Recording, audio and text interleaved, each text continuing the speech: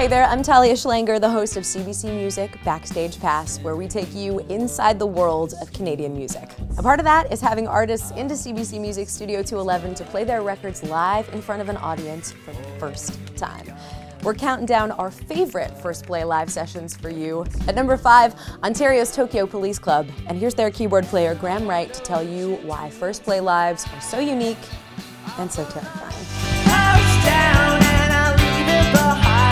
Interesting thing about playing new songs in this room, people are not going to be able to ignore it. They're going to hear it's going to sound better. They're going to get this experience of like intimate awareness. I'm a little mm-hmm. nervous because all of my little ticky doos in the background. usually you can count on like, oh, I screwed it up on the keyboards, but nobody notices. They're not Yeah. listening to the keyboards. Like five people are going to be watching me and standing next to me. They're going to be listening to the keyboards, which is cool. 'cause we worked really hard on all the parts of these mm-hmm. songs, and it's good to know that at least this one time, people are going to get to hear like the hi-fi version of that.